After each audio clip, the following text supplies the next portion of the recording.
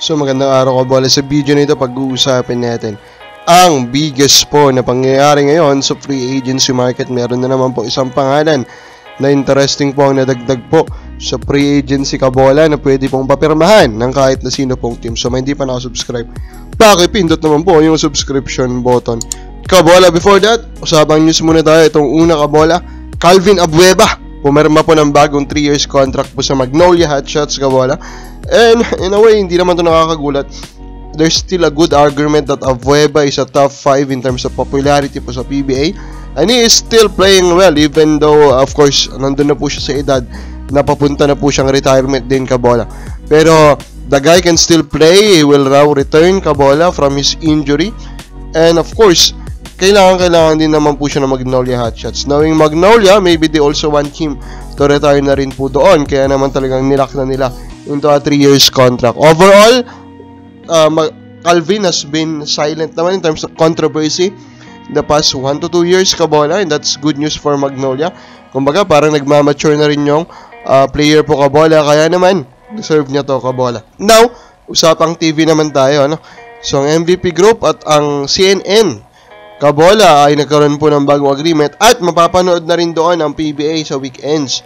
So, meron ng mga iba pang option, Kabola, mga kababae natin na gusto pong makanood po ng PBA. Now, gusto natin magkomento ano, sa mga, yun nga, alam naman natin, of course, we are also not a fan of the sudden disappearance of the PBA in one of the primary uh, free air channel, Kabola.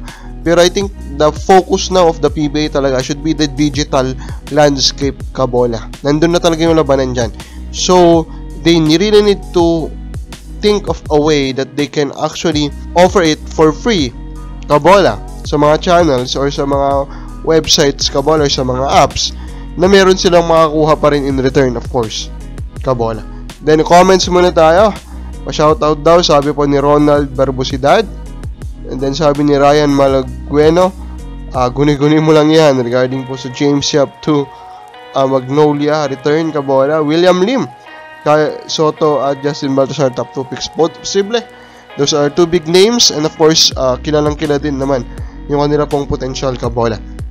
Pero in this, ang focus natin talaga is of course the decision of Converge Kabola of cutting Kevin Rakal in exchange for Cameron Fleming Kabola. So, in a way, shocking yung naging decision po na ito, Kabola, ng um, Converge. Kasi po si Rakal, eh, isa sa mga paboritong player po yan ni Coach Aldin Ayo. So, nakakagulat na bigla na lang po nilang i-give up ng ganun. Although, the potential reason ata is injury din Kabola. And of course, ginagawa na rin naman to ng ibang team.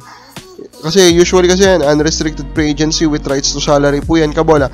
So kahit nakat yan, actually, baka may gentleman's agreement all throughout the league na kapag may rights to salary, eh, hindi mo, hindi mo basta makakausap yan kabola.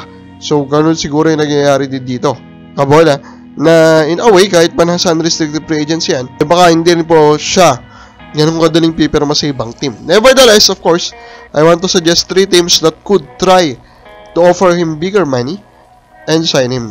And start po with TNT Kabola. So TNT, Of course, they're missing RR Pugoy and RR Pugoy is their best perimeter defender. Of course, ito pong si Rakal, that is his best skill kabola. So, kung naghanap po sila ng perimeter lockdown defender, Rakal could be a good option. And Road Warriors kabola, another team who's trying to contend kabola.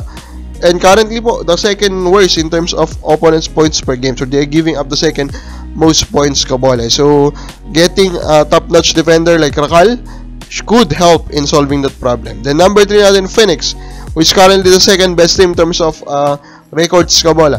So, if you look at their lineup, ito yung isang klase ng player na medyo wala sila. Lockdown defender like Arakal. So, I think they should consider getting him. O baka ba sa pregame mo? Sino po ang dapat makakuha Arakal? Comment na po sa baba.